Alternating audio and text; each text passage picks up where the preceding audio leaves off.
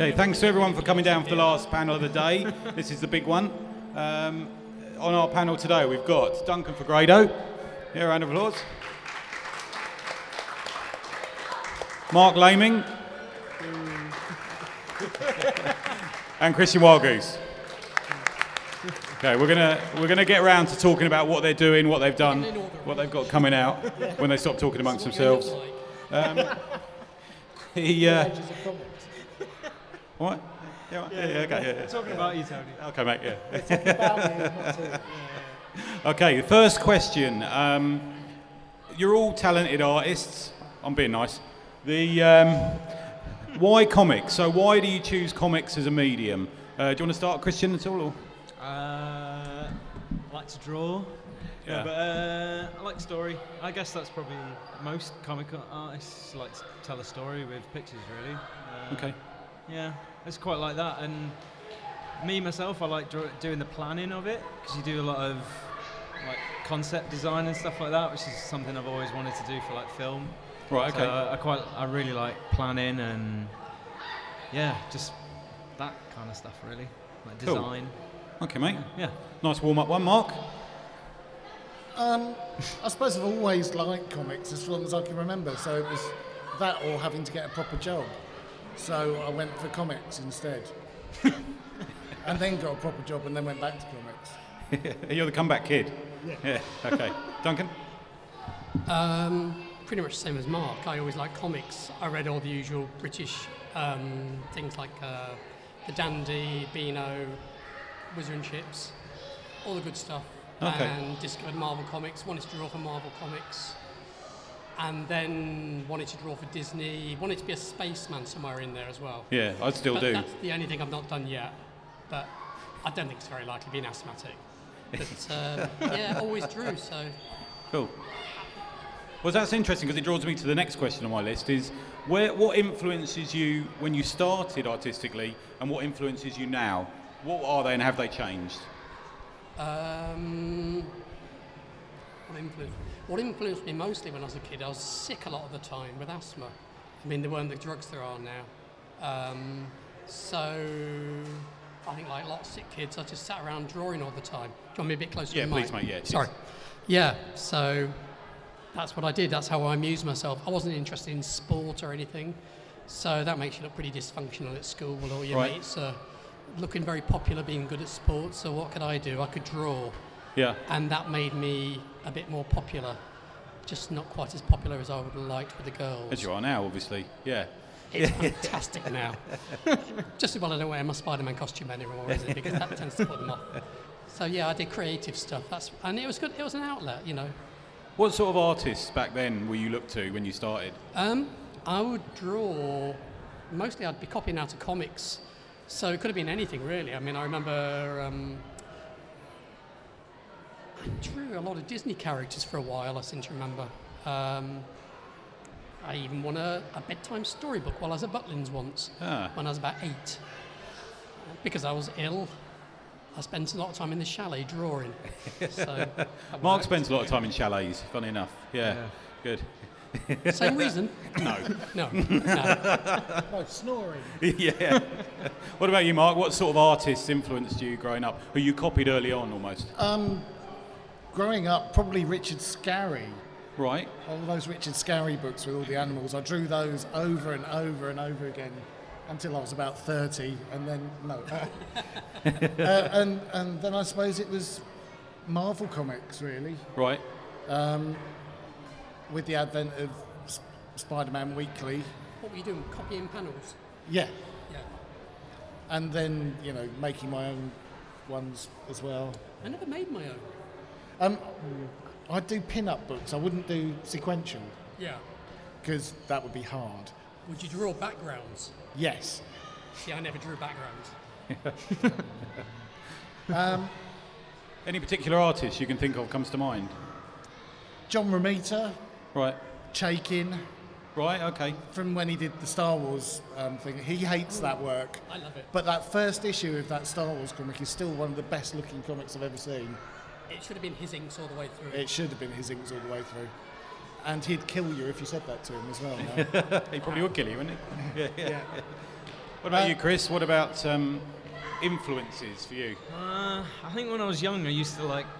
I used to really like Robo Hunter. Is it Robo Hunter Yeah, from yeah, yeah. 2000 Ian AD? Gibson, big influence on me. Yeah, I love his stuff because he just did that. Like he did Shine on metal like Yeah. nobody else. It was beautiful stuff. And, like he drew re- really cute girls. Yeah, yeah. He yeah, did one of my favourite Dredds as well. I really liked his Dredd. Yeah, yeah. So I used to redraw a lot of his stuff. I remember getting in trouble with one of my friends when I was very young because we were like, "We're going to draw a comic and stuff." And like you, I'd never, I've never actually drawn properly a comic before, and this is this is probably the reason why because a friend was going to write a comic for me, and I was going to draw it, and I just traced over loads of stuff from 2000 AD and showed it to him. And he People was- still do that. It's fine. I can exactly that. People but still he do was that now. he was really hurt that I'd traced this character and Right. like done it as my own, and then we never did anything ever again. and then when I was older, I guess like Dave Gibbons, like Watchmen, I think everyone kind of got re-fired from Watchmen when they were younger, and then yeah, I just wanted to try and draw like Dave Gibbons, and then couldn't. Okay. So I just did my own stuff. What about now? Who do you look to now? Uh, Start with you, Chris, again. Uh, you know, look, I, I always refer back to two artists who are always usually on my desk. Is um, Cameron Stewart is always one who's Okay. on there, and Sara Pichelli as well. Oh, okay. I just love their kind of style, and I guess if you looked at my work, you'd probably see that I kind of draw a fair bit like them. Yeah, no, I and see that. Yeah, definitely see that in it. Yeah, Yeah. yeah. Uh, What about you, Mark? Who's who you looking to these days to better yourself against, or Um, there's always Stuart Immonen because he is just ridiculously good. Chris Samnee, who is ridiculously Yeah. good. It is. yeah? Yeah. horrible. You wait till you see Black Widow number one. It's phenomenal. Um, seriously, it's it's possibly a masterclass in storytelling. It's amazing. Um, and then lots of old guys. Gil Kane, especially. I love Gil Kane's work. Yeah. Alex Toth, I love his work. Um, Moebius, I love all of his stuff, especially the Blueberry work. Um, there's just al- almost too much. Yeah. What about you, Duncan? Uh, Um, yeah, a lot of the same guys as um, as Mark there. Um, I'm always looking at Mike Mignola's stuff for obvious reasons. Yeah. Try not to look at it the same way. I mean, the hardest thing about looking at his stuff all the time was try not to be too much like him. Right. Okay. Um, yeah, yeah. But I mean, I'm not. Uh, hmm, who else? I. I mean, I used to. Again, yeah, Ian Gibson. I used to look at his stuff a lot. Love, love the body language of with his characters, and he had a fairly unique way of telling a story. He had some interesting ideas about um, how panels are laid out. Um, ideas about controlling time from, from the way you look at the viewpoints and the viewpoint changes panel to panel. That's technical stuff, I suppose. No, we're going to be getting to that in a minute. Yeah. Definitely. Yeah, Yeah. Uh, Brendan McCarthy was a big influence around that time as well. Um, the sooner or later strip that he casually drew on the back of each 2000 AD, I thought was absolutely mind blowing stuff at the Yeah. time. Um, and it tends to be people like that who don't tend, tend to have a, an actual comic style so much as they're just drawing. yeah. Um, it's something I like about uh, Goran Parlov's work, actually, like that as well. Yeah, I love his that stuff. work he did Brilliant. on Starlight was amazing. His Punisher's great as well. It's Yeah, incredible. yeah, yeah. It's, It's effortless stuff as well. it's effortless. I mean, that, I mean, the trick there that is, it looks effortless. Right. You're just forgetting about the years it took to get to that Yeah. point to make it look effortless. Yeah. I mean, I think that's the thing. It's, it should never look like you're feeling the work on the page. It should look like it just lives there. It always lived there and it's always moving. I mean, that's the great thing about Chris Samnee's Yeah, stuff. absolutely. It's very comic-y, but it has that amazing fluidity. Yeah, and it really And not just in, yeah, well. in the panels, but panel to panel as well. Um, who else? I don't know. There's, there's probably loads. There's loads of people. Yeah, they can't. there Yeah, really that's fine. Yeah. So, so moving on to the sort of craft of things, you. Let's start with you, Christian, because the newest of the group. If you see what I mean. I know. Stop looking at me like that. And so, so you get a um, you get a pay because you're all right. You're all artists working often off writer scripts, aren't you? Yeah. So you get a script through. Yeah. What's the process? What's the first thing you look for, and where do you take it from there? Um, I mean, I always draw faces first out of anything, so it's just Right. kind of like I don't know. I use just like from doing a figure, and I, when I read the script, I usually kind of just think of like a good angle in my head, I guess, of like different way of sh- like the cinematic view of Right. like that kind of situation, and then just plot it out basics, like really just rough basics in the script. Sometimes if like there's a sp- certain big thing that I You don't get. ever get excited about the first page you read and just throw yourself into that page without planning the rest of the issue. No, I, I have to plan the whole thing before Right. I start it. It's- Okay. I think you don't do that, do you? You kind of do page by page. Yeah, Mark, what do you do? Am I r- right? I don't know. I have to plan everything, but I tend to do it in chunks of eight. Yeah. Um, yeah, it's just because it fits on a sheet of A4. So what, what, what I start with is are tiny little thumbnails on, on post-it notes, which I then do a slightly bigger version of on a cheap A4 paper, scan those in, and then use those as my pencils. Yeah, because we've been in your dustbin. Yeah. We've stolen them out of your dustbin. Those. Yeah. that's fun. Yeah, cool. So you, what do you look for in a script though? What is it you really excites you about a script when you see read through it? The last page. The last part. I knew they would say that or Yeah, the the page, check. the paycheck. I knew that was coming. I don't know. Um, you know, something that's challenging you. Um, anything that comes up as a, a problem is always the most interesting page at the end of it. The one that drives you mad is the one that you normally enjoy most at the end of it. Because co- comics is nothing but a, a problem-solving thing from beginning to end. You've, Yeah, you've, definitely. you've, you've got to make sure it reads right and the timing's right. Um, and it's often, you know, finding out things like what's going to be the biggest panel on the page, what's the important moment. Do you It's guys like an impossible jigsaw sort of thing. Isn't Yeah, it? ab- absolutely. do you guys draw in order of pa- like page one to the last page, or do you like skip around Yes. it all? or- Yeah, I always go. I always go through from from beginning to end. Yeah. Um, it's very rare I'll link anything out of order even. Yeah. I mean, I'm tempted every now and then to. I've drawn a, I, I, I, I've drawn a, a nice figure on a page, and I'm really tempted Yeah. to go in and draw that, but I won't yeah. because I, that's the thing I'll enjoy, Yeah. and Right. it means that it going through all that grind to get to that one figure. Yeah. That's your reward then. If Yeah. you've blown it on that one figure, then you've got the misery of the rest of it. I don't want to put anybody off drawing comics or anything, but Mark was on the button when he said it's problem solving. Yeah. And, and, and, the, and I, was, I was telling somebody this earlier, in fact. Um, that process of doing the thumbnails, doing all your little layouts, trying solving the problems of how to make that story flow, how to make get the emotions across, um, hit the high points, hit the low points, make it flow. Um, you've got to put a mark down on the page. Some uh, you got it, the, the weirdest thing about comics is it's all of, it's you can't think of it. You've got to think of it simultaneously as a complete object and a fragmentary thing.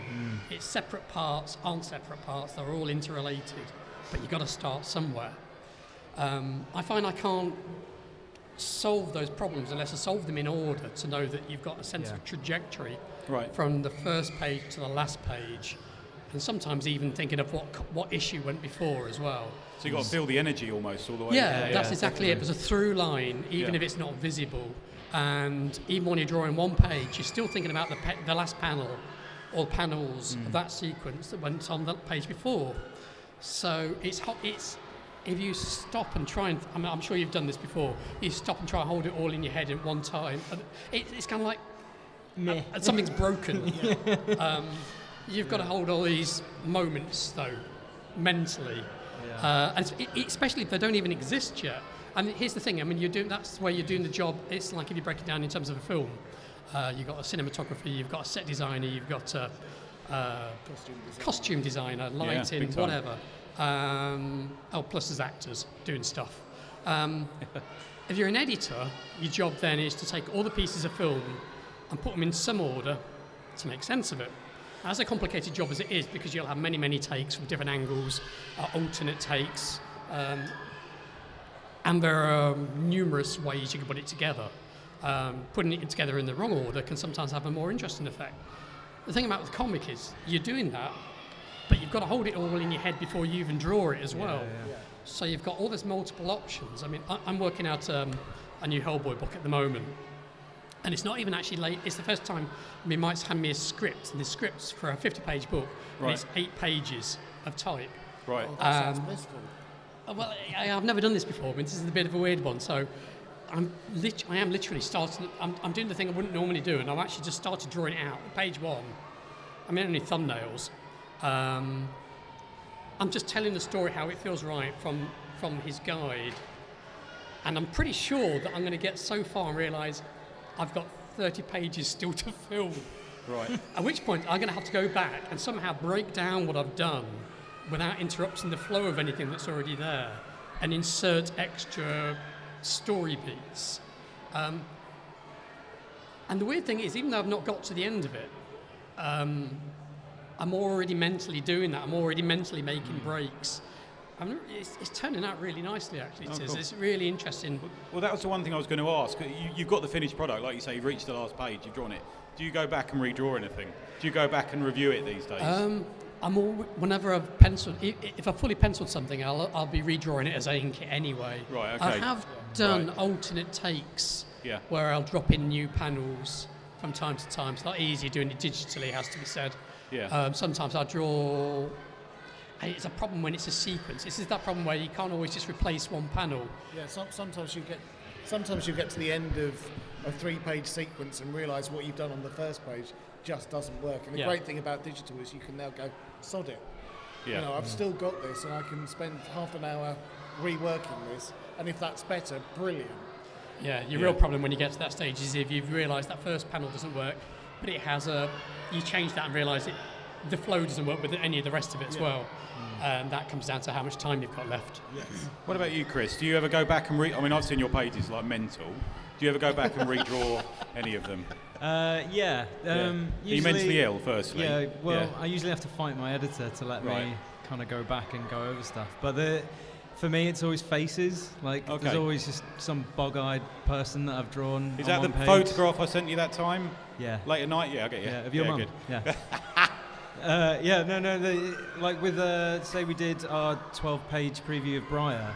Yeah. There's, I think there's one or two panels of that I've redrawn since then, or just if I can, if I can get away with it, I usually have to ask my editor, can I redraw that? Really? Okay.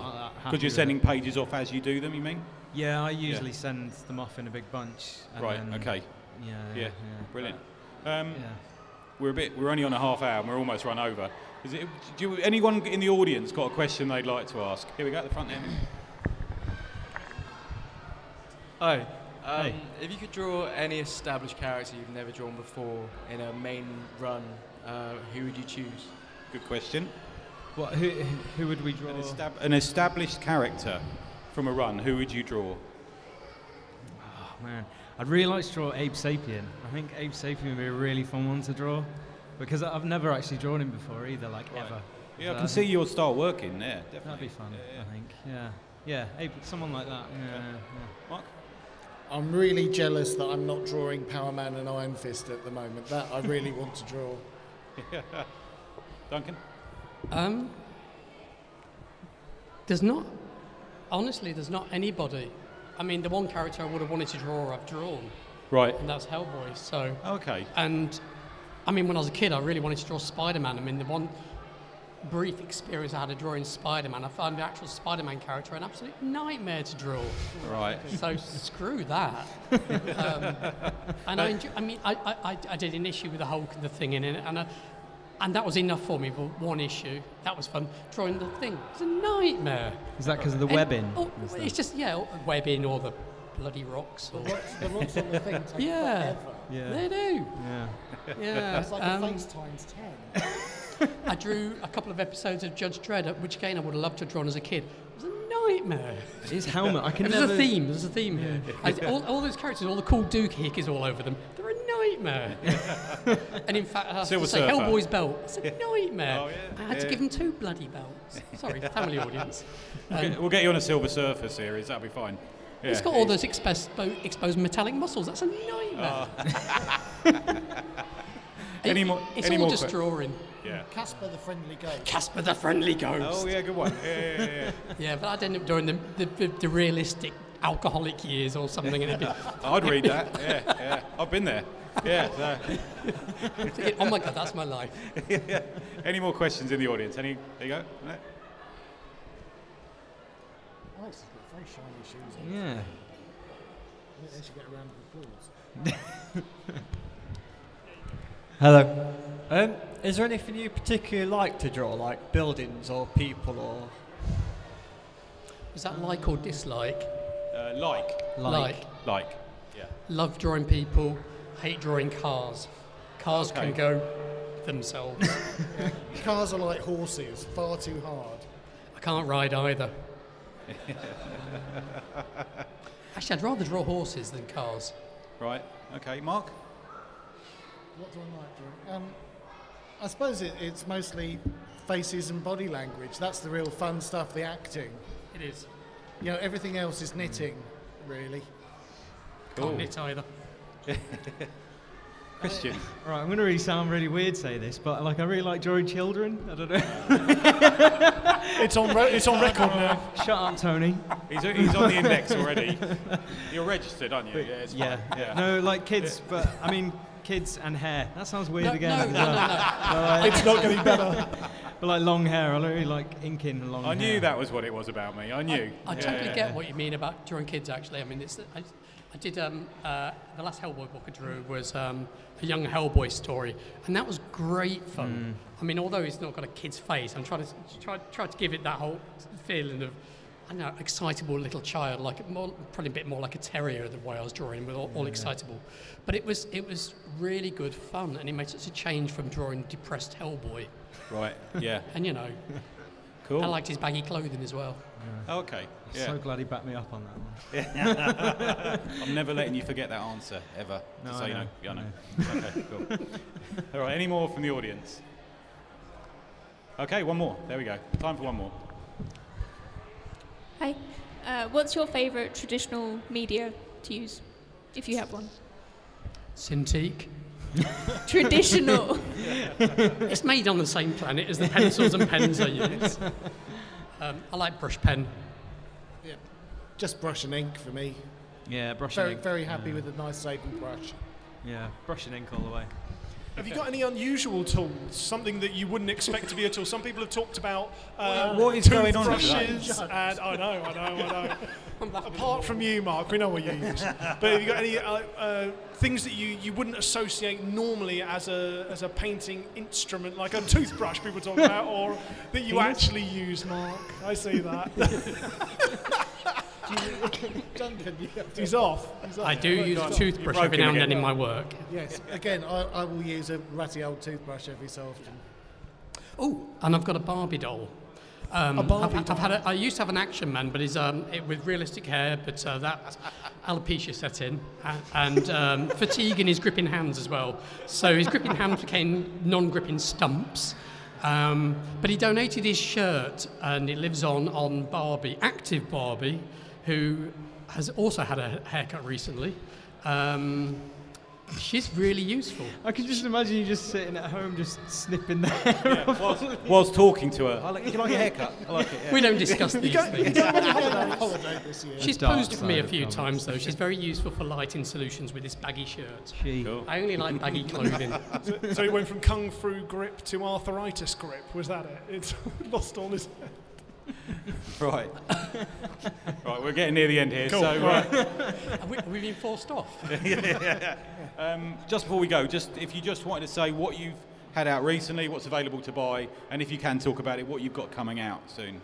Duncan? Um, last stuff I had published was ages ago now, uh, and that was MPH. And you should all rush out and buy it if you didn't, because not enough people did. Um, it's very good. Very good, Even yeah. though it's written by Mark Millar, it's very good. um, and uh, it's it's some of the most sensitive material he's done. And what I've got coming out is well, nothing coming out immediately apart from a bunch of covers and prints, which you can buy at my store. Um, I'm doing more Hellboy. Cool. Brilliant. Yeah. Mark? Um, I've just recently finished up um, for the whole Secret Wars event, Planet Hulk, Hey. and just done an Uncanny Avengers annual, which will feed into the new Scarlet Witch um, series that James Robinson's writing. Cool. Um, and um, what else have I got coming up? I'm doing covers on all of the um, the new Green Hornet series and some Assassin's Creed covers. And something else I can't talk about. You want to get on, mate. You not. You need to do more. I think he's not very busy yeah, at just all. not busy yeah. enough. Tell Yeah. who the slacker is here, can't yeah, you? yeah, yeah. That'll be me. Do you want to know what games I've played? We don't know. What, we, we don't want to know what games he's played. What about you, Christian? um, I've just finished. Well, j- uh, next month, uh, Bone China, the Secret Brilliant. Porcelain's coming out. Uh, just done an issue, like a backup piece for Phonogram that just came out in the latest issue. And You should definitely run out and buy that. Christian's work's excellent. Yeah, Bri- and Briar's upstairs. You got Briar. Yeah, and Briar, Briar's down here, that's my newest book that just came out last week, uh, and that came out as well. And then I've got a book coming out next year, but that's not announced yet or Oh. anything. But it's like my first mainstream thing, so kind of looking forward About to that. time. About time, mate. Yeah. Okay. Uh, just like to thank the guests: Marc Laming, Duncan Fegredo, and Christian Wildgoose. Round of applause. Thank you. Thanks.